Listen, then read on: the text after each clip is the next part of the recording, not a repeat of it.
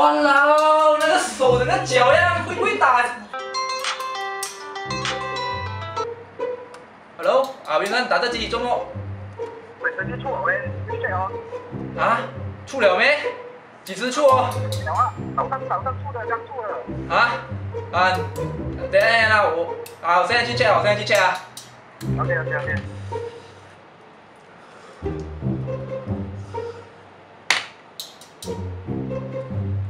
Hallelujah,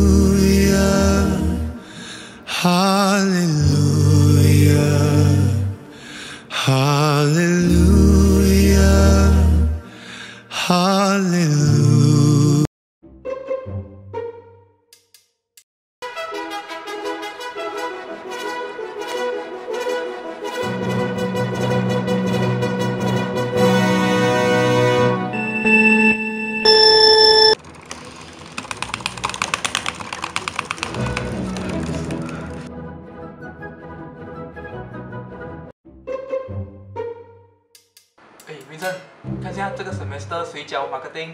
哎呀，哇，你是的花椒哦。这样子不要不要，快点看一下看一下，我们选这个 semester 选什么科比较好？哎，这个 retail 不错哦，哪里挖地胶哦。哪里挖地哪了？哇没给他 pass 哦拿拿拿拿，OK，OK，OK，快点快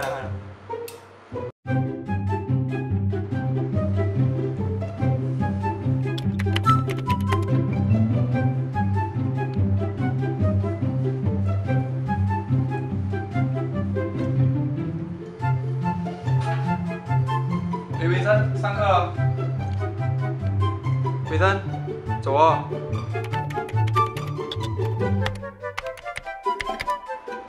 哇。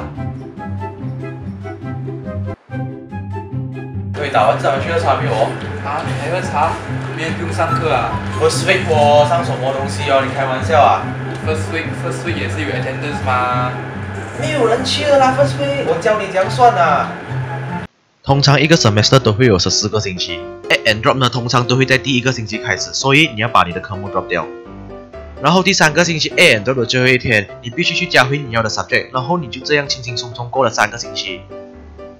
换句话说呢，第四个星期你就得乖乖去上课，顺便去找一下你 assignment group member，好歹也要让人知道你是做事井井有条的嘛，也要留个好印象啊，对不对？然后第五个星期就是农历新年，当然农历新年是一个很重要的日子，通常都不会去上课，所以你在第五个星期里面你会缺席两堂课，然后你就这样轻轻松松到了第六个星期，这第六个星期呢你就必须去上课，因为 Big Seven 呢老师会给 midterm，所以你要乖乖坐在班上等老师给 tips 哦。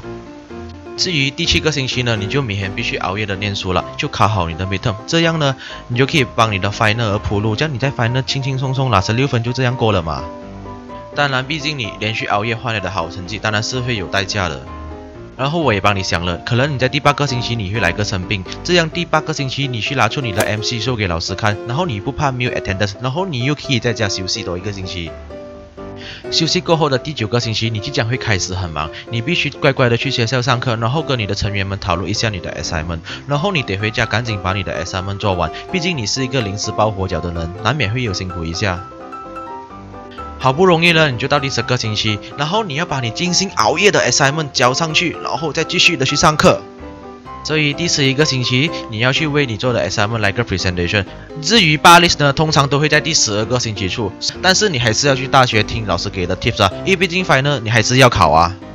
所以第十三、十四个星期，你可以尽情的去吃喝玩乐，直到考试前一天，你必须尽你所能把这整个 semester 的东西一晚之间把通通背上来，然后考试的那一天，你尽你所能的把你会的东西都写出来。总之来说，从头到尾你只是缺席了两堂课，你还有九十八的 attendance，但你还担心什么？